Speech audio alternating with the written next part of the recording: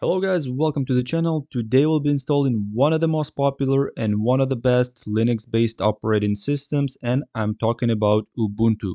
Ubuntu is really popular and it is really great. So if you're planning to switch to Linux, you should try Ubuntu, see if you like it. It has a lot of cool features, it's got very cool design, as well as it has really good software repositories, so you can count on Ubuntu to have all the software that you need. Alright, without further ado, let's get started and if you're new to the channel, please take a second to subscribe, click the notification bell so you don't miss new videos, and if you find this video helpful, give it a like. Okay, let's get started. Okay, so the first step, we need to go to any browser, then go to the search field and type Ubuntu.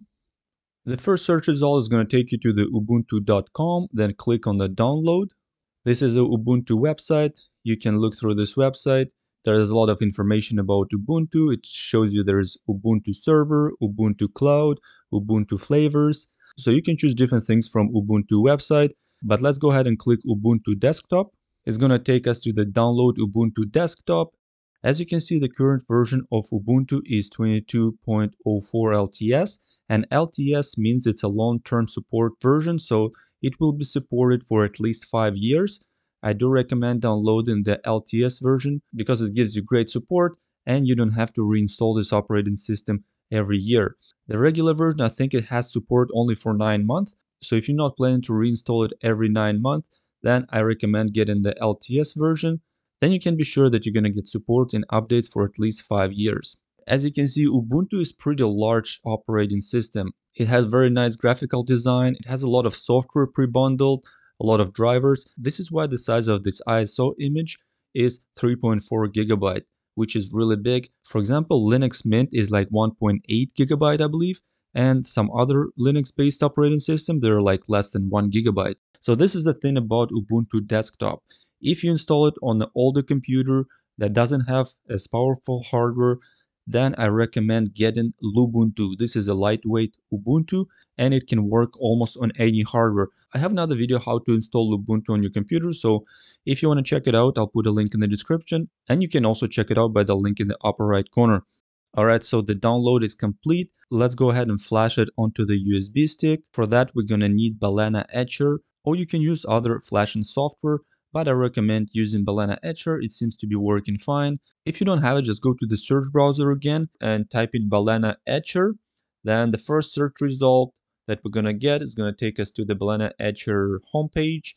So click download for Windows. If you have a Windows operating system, you can choose to download for other operating systems if you use another operating system, but I got Windows 64-bit, so I'll just download it for this. Then go ahead and click on the downloaded program, the exe file. So you just gotta accept the agreement. It's gonna start installing automatically. After that, go ahead and run Balena Etcher. This program has a very simple minimalistic design, so it's easy to use. Go ahead and click Flash from File. Then from Downloads, click the Ubuntu image that we have downloaded.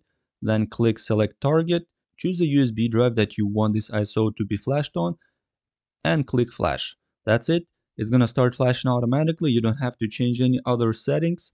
So it's going to start the flashing process. It might take a few minutes because it's pretty large image. It's going to probably take longer than average ISO to flash. But anyway, I'm just going to go ahead and fast forward it to save some time. And I'm going to see you when we're going to start the installation process. Alright, so the flashing is almost complete. After that, it's going to start validating the image, making sure it has been flashed properly. After the validating is complete, you can go ahead and close this window and then remove the USB stick if you're planning to install it on this computer, just go ahead and restart it. If you're planning to install it on a different machine, just plug in the USB stick into the machine, turn it on. You might have to press F8 when the computer starts to be able to choose the device that you want to start booting from. As you can see, I have a few different devices available for booting. I just need to choose the USB stick that I have the ISO on, and this is going to be the UEFI Jet Flash Transcend 16GB. Just choose the USB stick that you have flashed the ISO and press enter. After that, choose try or install Ubuntu, so press enter.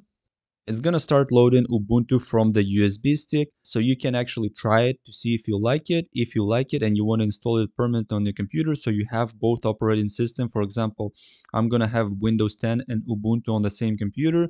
Also, if you just plan to install brand new Ubuntu on the computer as a single operating system, you can do that as well. Alright, so Ubuntu is loading. It's gonna start in a few seconds. And actually what I noticed about this new version of Ubuntu is it is a bit slow. Like before, other versions were faster. Now it takes much longer to actually start every program. So hopefully they will fix it later. Alright, so Ubuntu has started. As you can see, we're getting the welcome screen. So here you can choose whether you want to try Ubuntu or you want to install Ubuntu. Since we're going to be installing Ubuntu, we just got to choose the language and then click install Ubuntu. After that, you need to choose the keyboard layout. I'm just going to choose English and press continue. The next thing we need to choose whether we want to install updates in other software. We can choose either normal installation or minimal installation. I recommend doing the normal installation. Then you're going to have everything already pre-installed. And then for the other options, you can choose to download updates while installing Ubuntu. And also the very important step is install third-party software for graphics and Wi-Fi hardware and additional media formats. This means that during the installation process, Ubuntu will automatically locate and find the proper graphics card drivers and Wi-Fi adapter drivers. So you have the good experience once the installation is complete. If you don't choose this option, then you'll have to do it manually and you may not get the great experience right after the installation because if you don't have the proper graphics card driver, your screen resolution might be too big or it might be just slow overall. If you don't have the Wi-Fi adapter driver, then you're not going to have the Wi-Fi.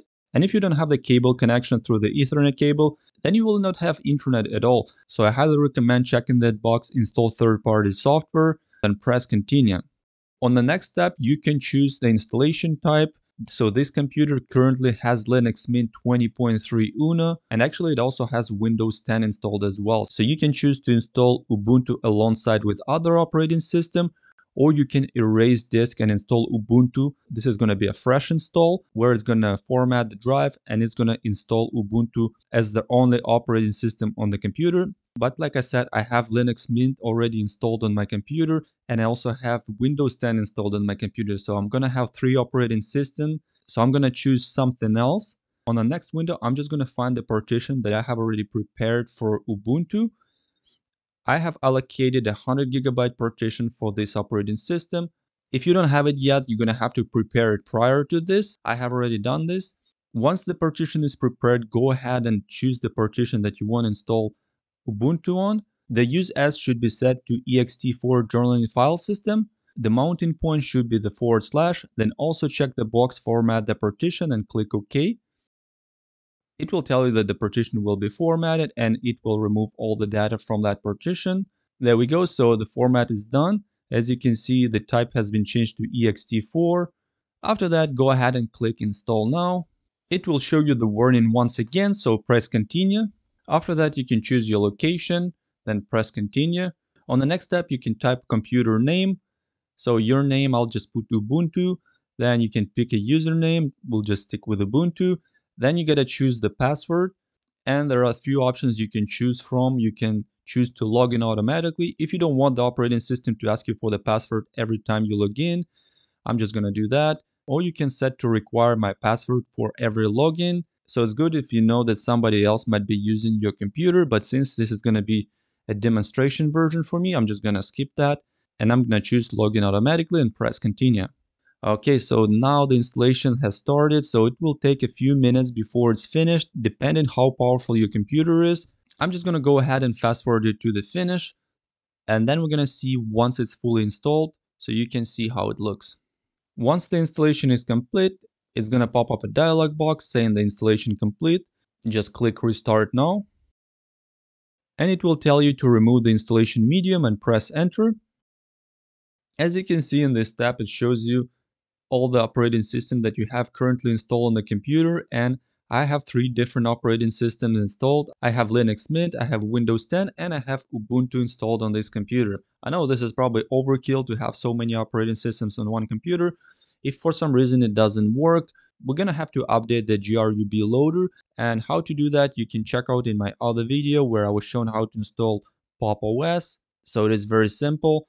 You just gotta run a few commands through the terminal so I'm going to put a link to that video as well so you can check it out if you're having some issues with the GRUB loader. But if everything works good, you don't have to worry about it.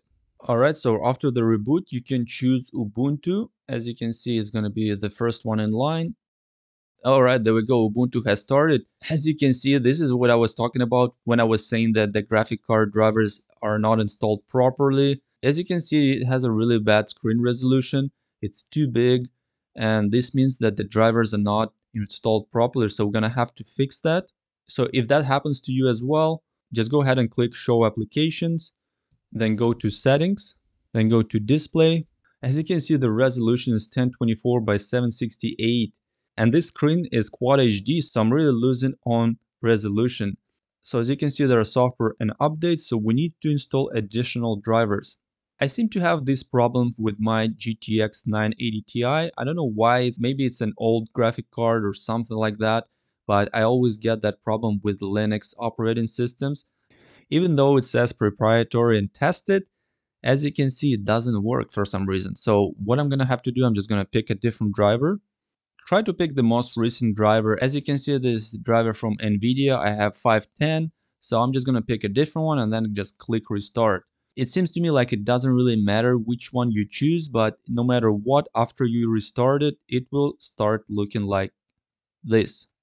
There you have it guys, this is Ubuntu operating system for you. So this is how it looks, it looks great. For some reason, it's not as fast as I thought it would be, like the newest version seems to be pretty slow, but it still looks great.